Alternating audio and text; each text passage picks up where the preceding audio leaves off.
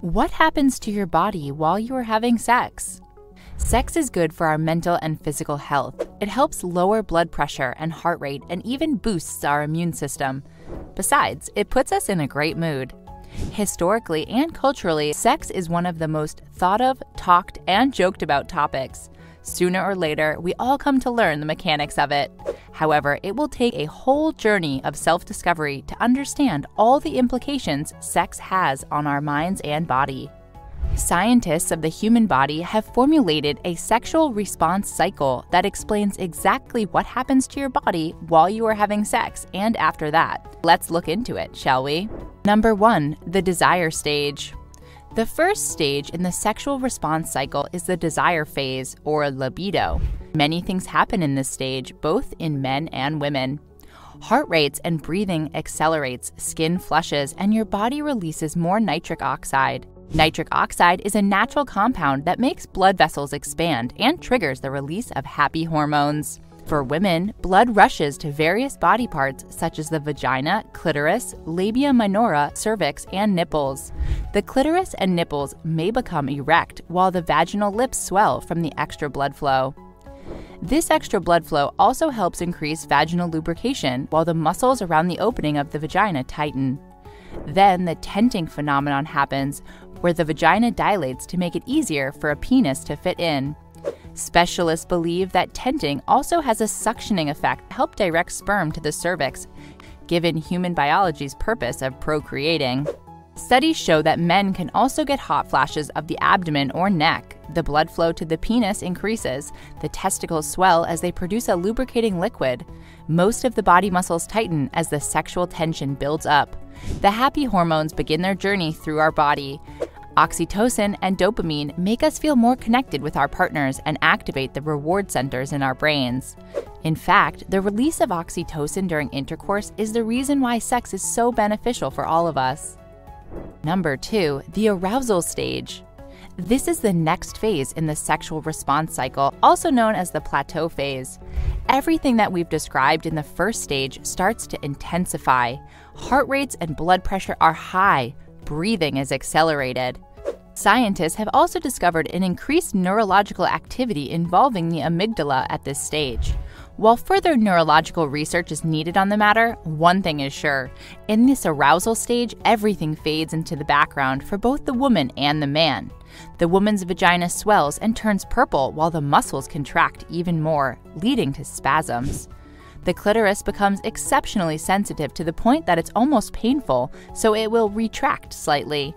In men, the muscles responsible for urine control start to tighten even more to prevent any urine and semen mix. The muscles at the base of the penis start to contract to trigger the secretion of preseminal fluid. The testicles retract up into the scrotum. Muscle spasms might begin to build up. Number 3. The orgasm. Unfortunately, you might not hit the big O all the time. According to a 2018 study, up to 40% of women talked about their difficulty in reaching orgasm. There are many reasons why a person cannot reach orgasm, from anxiety to trauma, stress, or medical issues. However, sex can still be great, even without an orgasm. When you do orgasm, everything goes through the roof. Your muscles convulse, your whole body is shaking and producing oxytocin like crazy. Women usually have uterine and vaginal contractions. Men will experience rhythmic contractions at the base of the penis as the muscles are tightening with the goal of releasing semen in an ejaculation. Then everything calms down and our body rewards us with a good share of dopamine.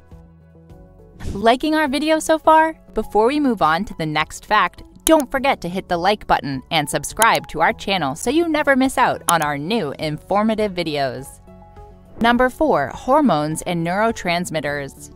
30 active parts of the brain are involved in orgasm, including the amygdala, the memory and emotion center, and the hypothalamus, the subconsciousness.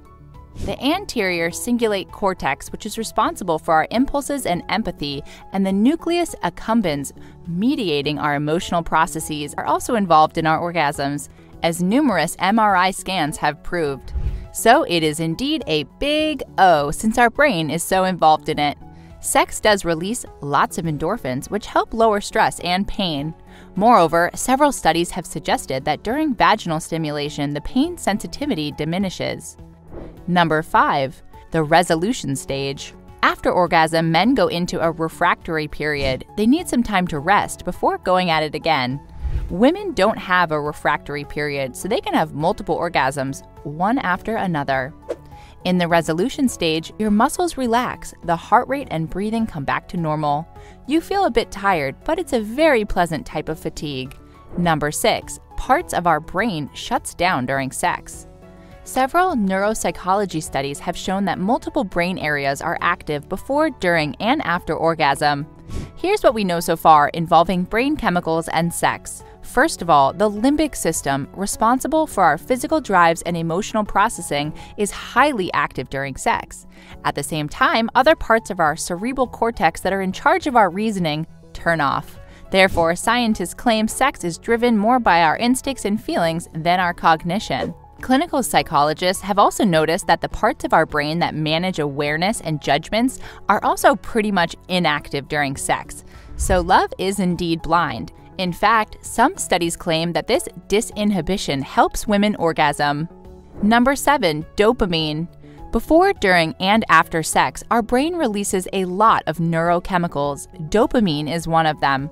Dopamine is a chemical messenger involved in most of our neurological and physiological processes, such as blood flow, digestion, mood and emotions, motor control, sleep, stress response, pleasure, and reward seeking, etc. Yes, pleasure.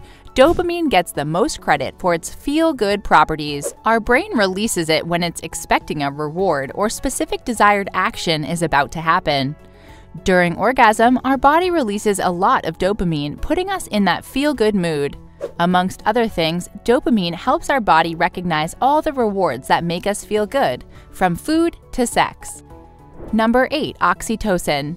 Oxytocin is another type of feel good hormone that our body releases in our hypothalamus during orgasm. Interestingly, oxytocin is also released during breastfeeding, as it's meant to promote feelings of attachment, affection, and love towards one another. Number 9. Your brain also releases vasopressin.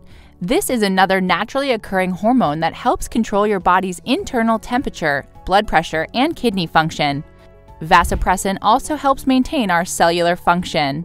Our brain also releases this hormone during sex, especially for men. Vasopressin interacts with the male sex hormone testosterone. Given that men do tend to get sleepy after sex and that vasopressin promotes drowsiness, you might blame it on this hormone for your man's fatigue. Number 10. The release of serotonin. Serotonin is another chemical messenger that has excellent effects on our mood. It helps us sleep better, and it is usually linked to feeling good and living long, prosperous lives. When we don't get enough serotonin, we might feel sad or even depressed. Research has shown that serotonin levels rise during sex, and it is one of the main reasons why we get that good feeling after orgasm.